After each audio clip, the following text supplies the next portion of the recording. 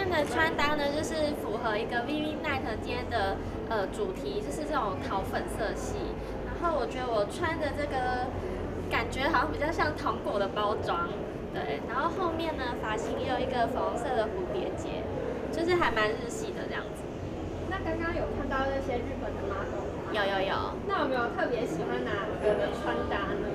穿搭的话，想试试看的。试试看啊？穿搭的话，我喜欢 A 玛的穿搭，因为我记得她是穿一件桃红色的西装，然后里面是一件粉红色的小背心。我觉得可以穿桃红色西装的女生就是特别的性感，然后又有点气势的感觉。但是应该只有 A 玛那种身材，就是脚比较修长的人才有办法驾驭，我应该不行。那自己有喜欢哪个款式的服装吗？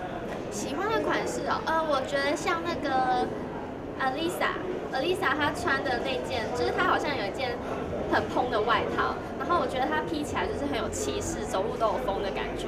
对，那件我还蛮喜欢。的刚好一个薄纱，然后里面只有一件内衣的那个，你你会想要试试看吗？会，你说穿那个黑色靴子配薄纱那那一件吗？就是感觉很性感。有有有，我刚刚有跟我的朋友讲，我说，哎，我觉得那一套很适合我，就是也是一个薄纱，可它薄纱底下又有毛茸茸一圈这样子，觉得看起来很舒服，然后又蛮可爱的。是不是那件胸标够大才撑得起来，有可能哦，但嗯，那我可能就没办法了。那在二零，那你觉得二零二零年啊会开始流行什么样的服饰吗？二零二零流行什么样的服饰？我觉得应该会有什么样趋势之类的。应该会流行很多糖果色吧，就像这种比较荧光的，或者是紫色啊、苹果绿啊，或者是桃粉色这种比较。跟以往比较不一样，因为我觉得二零二零年很多就是一些精品的新款都开始走一些比较亮的颜色，所以我觉得可能明年的流行趋势是走亮色系吧。那会推荐大家什么必买的商品吗？必买的商品说流行吗之类的，就一定大家一定要准备一件。那可能就是荧光系的东西吧，今年好像荧光系也蛮流行的。那你觉得在往狼狼人杀的大家，你有觉得谁的穿搭你一直都很喜欢？谁的穿搭？应该是凯乐吧，跟豆豆。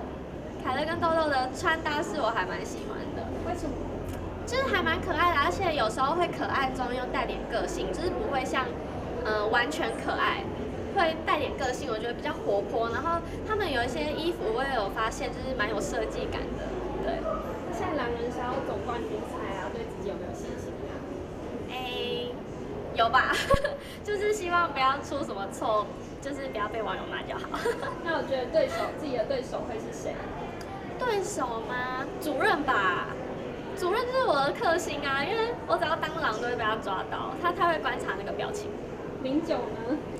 零九吗？零九我觉得如果我以逻辑去说服他的话，好像稍微还可以让他相信一点。对。所以是觉得自己好像比零九还要厉害喽？没有，我不敢。零九还是最厉害的。那没有把你没有放在你眼中的人吗？确定要这样问？没有放在眼中吗？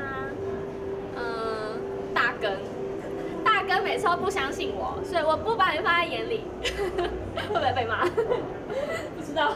那那会有什么战术吗？战术吗？我觉得就是要会，哎，战术就是要有逻辑。等一下，战术就是要有逻辑，又要会演戏。然后讲话又要平稳，所以其实很难呢。就是这三个都要做到，我觉得应该就就会很厉害。那再跟大家分享一下你现在要参加这个秀的心情。